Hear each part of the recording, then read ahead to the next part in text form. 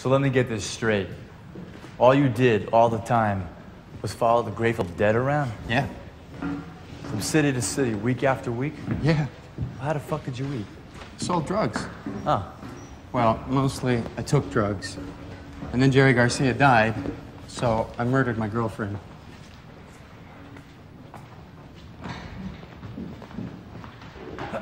What's that?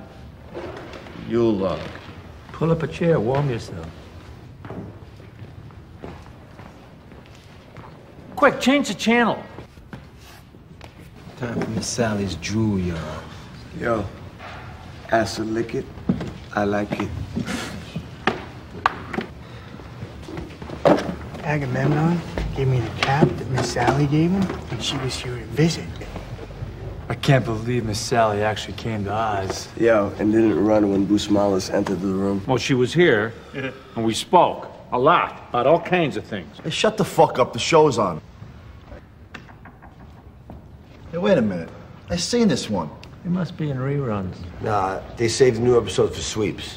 To pull in the air raids, this ain't sweeps. The fuck you know about Hey, sweeps? to dabble in the entertainment industry. Yo, I read somewhere where the station's thinking about canceling the show.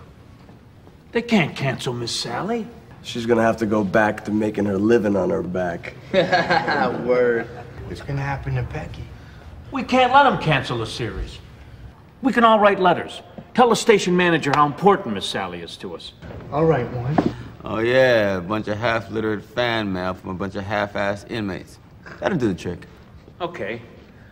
I'll write them all myself.